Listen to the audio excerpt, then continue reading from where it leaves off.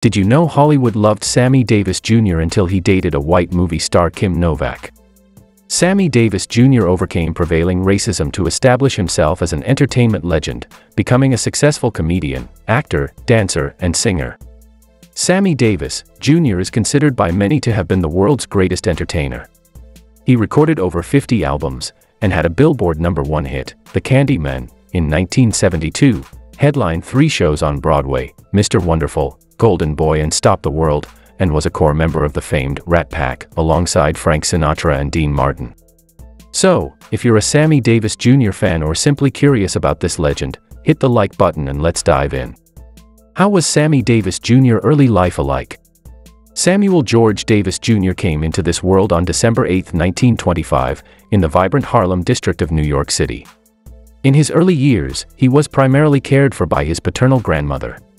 However, when he was just three years old, his parents separated, and he began residing with his father, who was actively involved in the world of entertainment as a member of a dance troupe. How he got into music industry.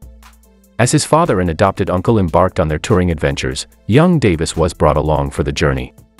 It was during this time that he discovered his talent for tap dancing, and the three of them began performing together, eventually earning the moniker of the Will Mastin Trio. Due to their constant travels, Davis missed out on a formal education. However, his father occasionally arranged for tutors while they were on the road. Throughout their journeys in the 1930s, the young Davis not only honed his skills as a dancer but also developed into a proficient singer, multi-instrumentalist, and comedian, quickly becoming the star of their performances. Additionally, Davis made his debut in the world of cinema during this period, showcasing his dancing abilities in the 1933 short film titled Rufus Jones for President. In 1943, during the peak of World War II, Samuel George Davis Jr.'s career took an abrupt pause when he was conscripted into the Army.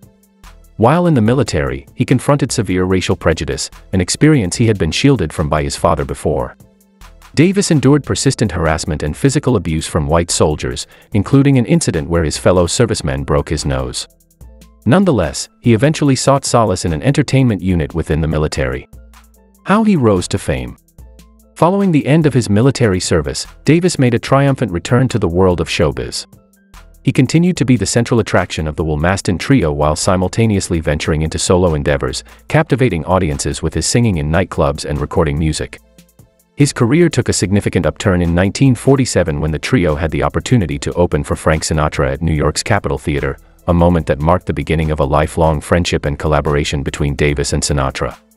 Subsequently, Davis embarked on a tour with Mickey Rooney, and his talents shone in a performance that caught the attention of Decca Records. This led to Davis signing a recording contract with Decca in 1954. Did he lose one of his eyes? Later in that same year, while en route to Los Angeles for a soundtrack recording, Davis suffered a grave car accident that left him with severe injuries. This tragic incident led to the loss of one of his eyes, and for the majority of his life, he would rely on a glass eye. During his recovery period, Davis had ample time for introspection and soul searching. It was during this time that he made the decision to convert to Judaism. He found a profound connection between the historical oppressions endured by African American and Jewish communities, which played a significant role in his spiritual journey. What were biggest songs from Sammy Davis Jr.? Sammy Davis Jr. had a prolific career with numerous hit songs, and some of his biggest and most popular ones include 1. The Candyman, this song, released in 1972, became one of Sammy Davis Jr.'s signature tunes and a massive hit. It reached number 1 on the Billboard Hot 100 chart. 2. Mr. Bojangles, originally written by Jerry Jeff Walker, Sammy Davis Jr.'s rendition of this song in 1970 became one of his most iconic performances. 3. I've Gotta Be Me, released in 1968, this song became closely associated with Davis and is often considered an anthem of self-expression and individuality. 4. What Kind of Fool Am I?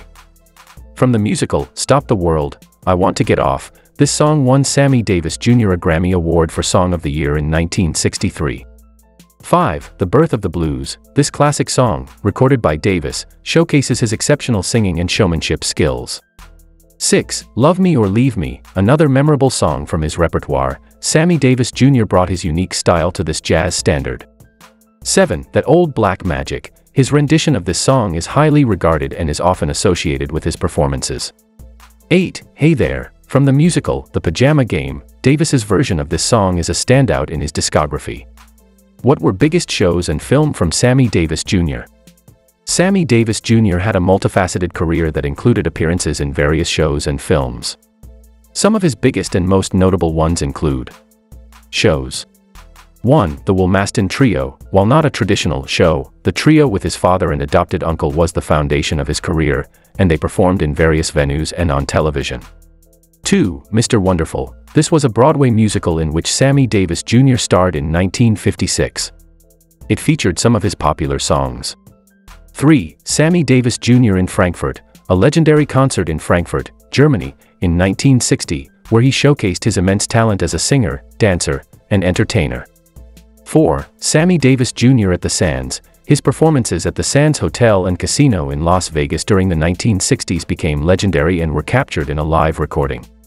5. The Sammy Davis Jr. Show, a television variety show that aired in the early 1960s, showcasing his singing and dancing talents along with guest stars. Films 1. Rufus Jones for President, 1933 This was his debut film appearance, where he showcased his dancing skills at a young age. 2. Anna Lucasta, 1958 Davis appeared in this drama film, which was based on the play of the same name.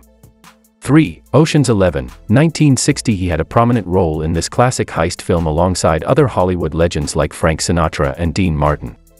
4. Porgy and Bess, 1959 Davis played the role of Sportin Life in this film adaptation of the famous opera. 5. Robin and the Seven Hoods. 1964 He starred in this musical comedy alongside Frank Sinatra and Dean Martin. 6. Sweet Charity. 1969 Davis had a memorable role in this musical film. 7. Tap. 1989 In one of his later film appearances, Davis showcased his tap dancing skills alongside other renowned tap dancers. Who was Sammy Davis Jr. married to? Kim Novak. During the 1950s, Sammy Davis Jr. had a significant romantic involvement with the famous actress Kim Novak. Their relationship, however, encountered substantial challenges and harassment due to the racial tensions prevalent during that era. Lorraine White.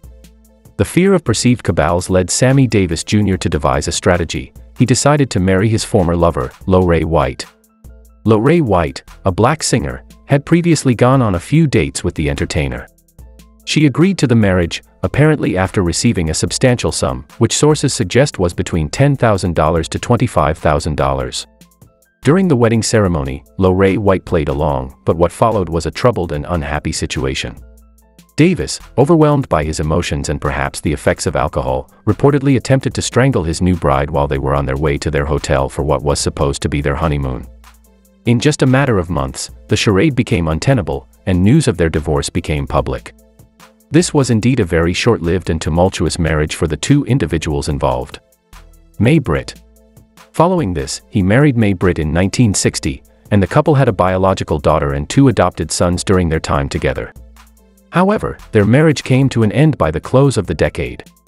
May Britt, a Swedish actress, indeed married Sammy Davis Jr. in 1960. Their marriage was highly controversial at the time, primarily due to the prevailing racial attitudes and laws in the United States. Interracial marriage was still prohibited by law in 31 states, which made their union a subject of public scrutiny and discrimination. May Britt's acting career did experience a pause during her marriage to Sammy Davis Jr., and their relationship faced significant challenges because of the racial climate of the era. Their marriage was a notable milestone in the ongoing struggle for civil rights and the fight against racial discrimination. Altovise Gore. In 1970, Sammy Davis Jr. entered into his third and final marriage with dancer Altovise Gore.